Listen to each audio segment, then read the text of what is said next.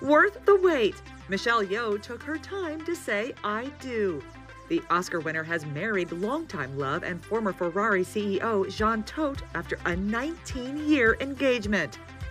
Formula One driver Felipe Massa shared Instagram photos from the intimate ceremony, which took place in Geneva earlier this week. A peek at the wedding program revealed that the bride and groom got engaged after a whirlwind romance. The paper read, We met in Shanghai on the 4th of June 2004. On the 26th of July 2004, JT proposed to marry MY, and she said yes. Today, after 6,992 days, on the 27th of July 2023 in Geneva, surrounded by loving family and friends, we are so happy to celebrate this special moment together. Michelle's Academy Award was also a welcome guest at the festivities as she and Jean posed for selfies with Felipe while holding the trophy. The 60 year old appeared to wear two chic looks for the occasion a white skirt and matching silk blouse, and a fitted beige gown with a corset bodice. Happy marriage, Jean Todt and Michelle Yeoh. Love you so much, Felipe captioned his post alongside two red heart emojis.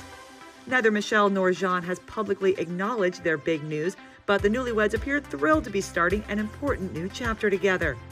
2023 has been a landmark year for the acclaimed superstar. Back in March, Michelle became the first Asian woman to win the Best Actress Oscar, accepting the honor for her work in Best Picture Everything Everywhere All at Once. 77 year old Jean accompanied her to the A list event where they posed on the red carpet.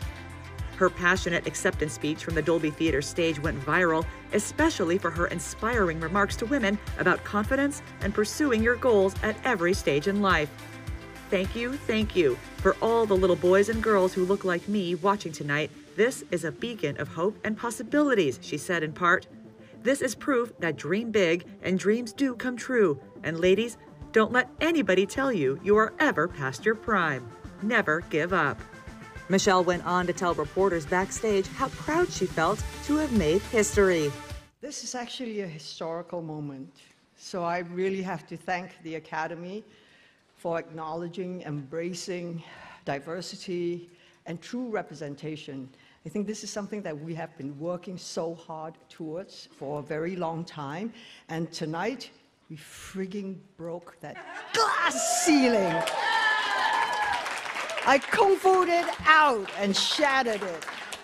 And we need this because there are so many who have felt unseen, unheard. It's not just the Asian community. This is for the Asian community, but for anybody who's in, been identified as a minority, we deserve to be heard. We deserve to be seen. We deserve to have the equal opportunity so we can have a seat at the table. That's all we are asking for. Give us that opportunity. Let us prove we are worth it. Yeah.